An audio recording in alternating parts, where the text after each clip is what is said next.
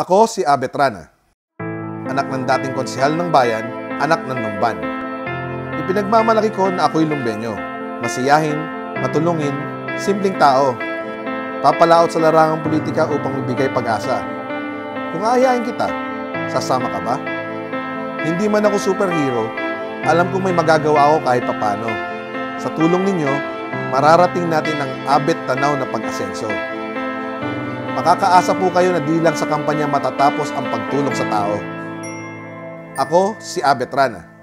Bagong muka, bagong dugo, ang inyong bagong boses para sa bagong lumban. Tara na!